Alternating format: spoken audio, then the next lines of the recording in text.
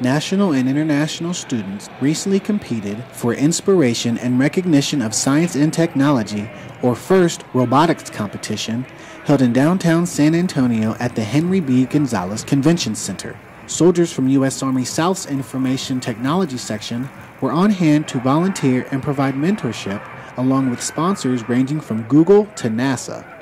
The best thing about being a volunteer is uh, I get to interact with the kids, you know, talk to them about the Army, you know, especially being from the G6. I like discussing with them how the Army isn't just about, you know, running around shooting guns. It's, it's part of my primary job, but, you know, I get to do other things and, you know, explain to them, you know, other, other opportunities that are in the Army and just interacting with them.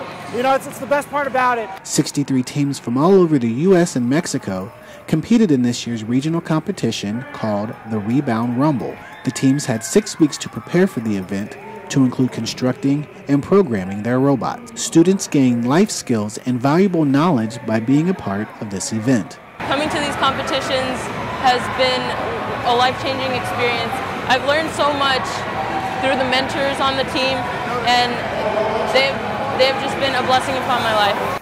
The top three teams will go on to the national tournament to compete for the first championship in St. Louis, Missouri.